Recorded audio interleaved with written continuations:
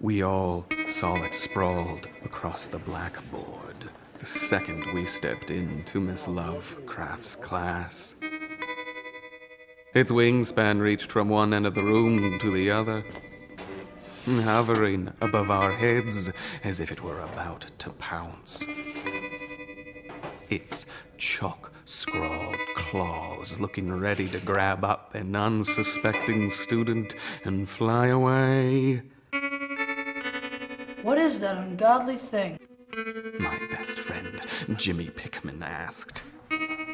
It looks like an octopus, I replied. Miss Lovecraft had scribbled its name over its dome shaped head, beckoning the class to chant this creature's nauseating nomenclature. Repeat after me, children. This is the vagina. I shuddered at the sound its name made within my mouth, whispering it with the rest of the students.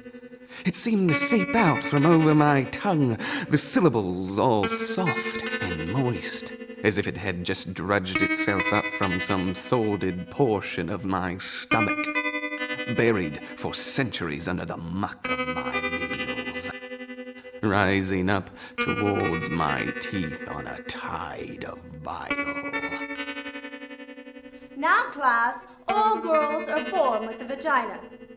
The vagina is home for the uterus, shown here, which is where the fertilized ovum develops into a fetus. Suddenly, it struck me.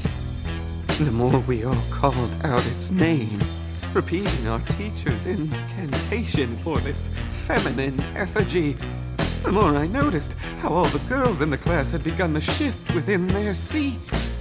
Norween Dunwich popped her hubba bubba right into my ear, the air hissing out from that gummy bubble like a dying man's final exhale.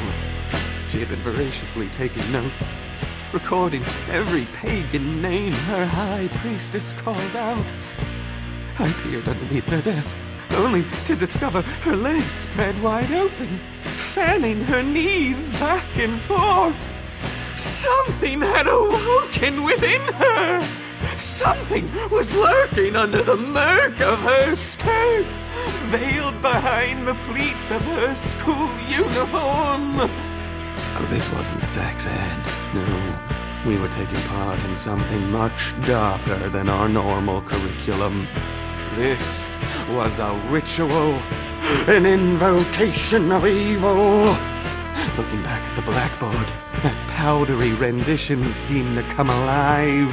Its fallopian tubes undulating across the wall like tentacles reaching out for me.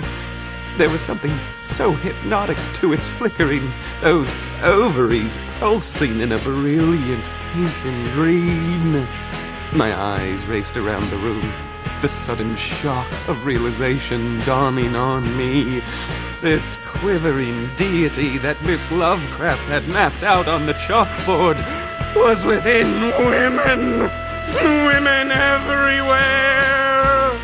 These ancient beings have been amongst us boys all along, hidden within the depths of our female classmates.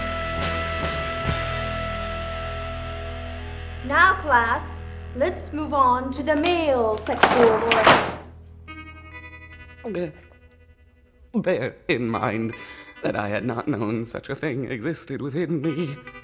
To say that a mental shock was the cause of what I inferred, that last straw of sanity snapping as Miss Lovecraft took her chalk and etched a most heinous hieroglyphic across the blackboard, is to ignore the simplest bit of my experience.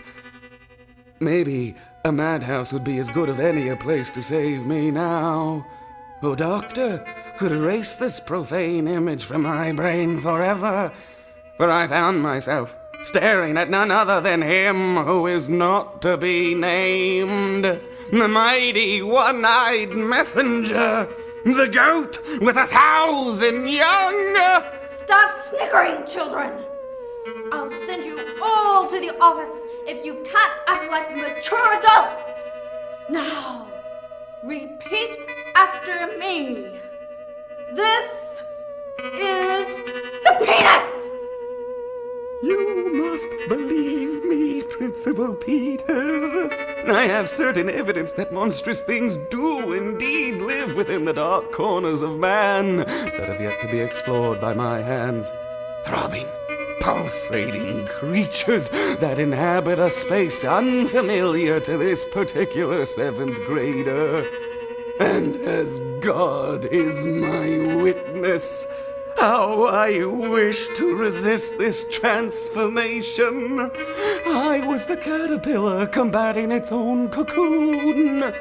Looking around the room, I realized I was not alone in this chrysalis state. The rest of the class was undergoing the same change. A look of utter horror frozen on everyone's face. Locking onto the eyes of Larissa Innsmouth, I was suddenly aware of the disconnected sounds inside my mind. The creature hidden within her was attempting to communicate with me. Its sole mode of speech were a series of thought waves transmitted through its clitoral antenna. Even now, these beasts talked within their tombs, sending their telepathy out from beyond the cotton lining of all the girls' underwear. the panic was suddenly lessening within me. I was beginning to feel queerly drawn towards the unknown sea depths of my female classmates. I suddenly felt the compulsion to swim towards that brooding reef of newly grown pubic hair diving into that black abyss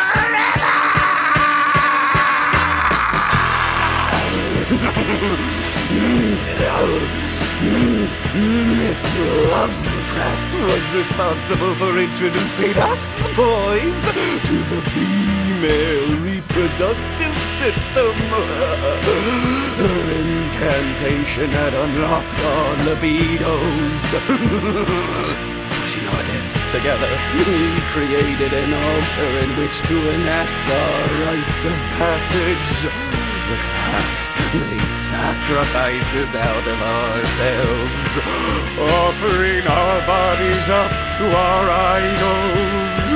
Miss Lovecraft continued to point towards the orifices of our gods, while the student body had an orgy of ungodly proportions.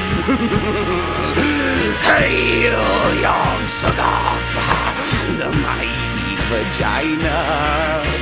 Praise to the pit of Shoggoths. Glory to the great messenger Cthulhu. Yuggoth, the cyclopic worm.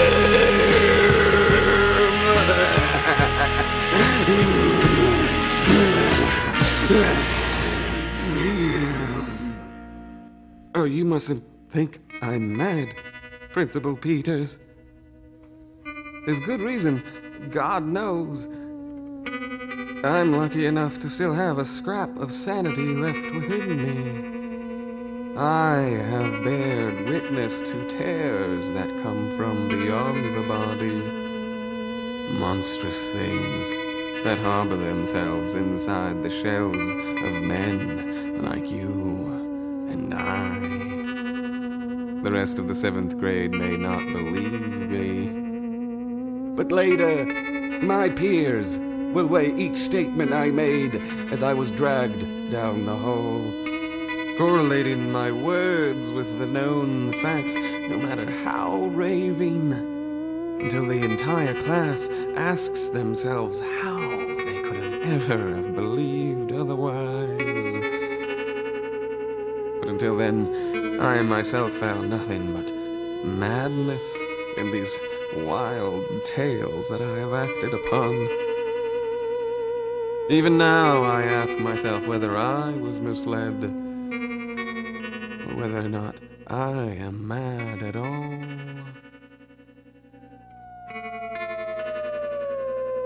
But the second my knees buckled upwards, hitting the underbelly of my desk, the class all turned around to face me.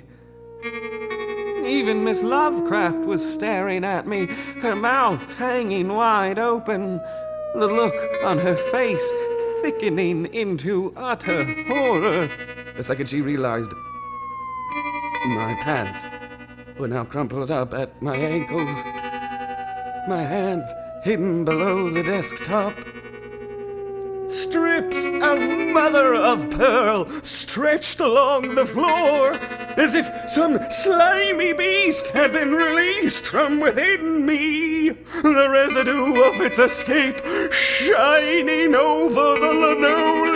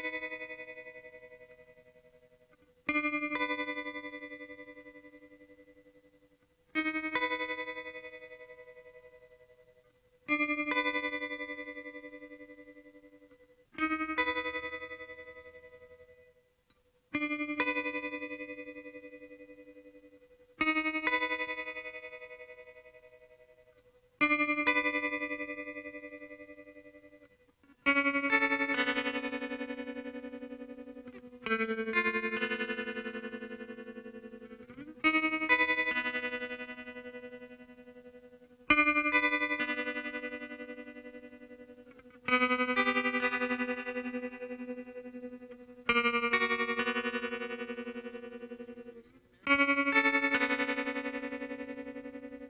you.